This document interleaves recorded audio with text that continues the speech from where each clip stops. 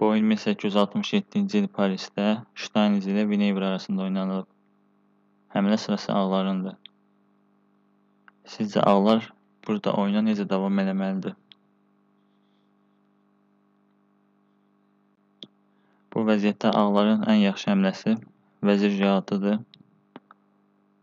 Qaraların vəzir alması yaxşı olmaz. F7 həmləsi var.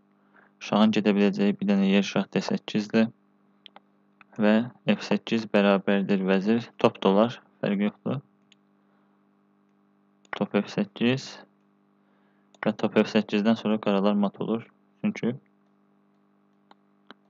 şahın gedə biləcəyi güvənli bir xana yoxdur.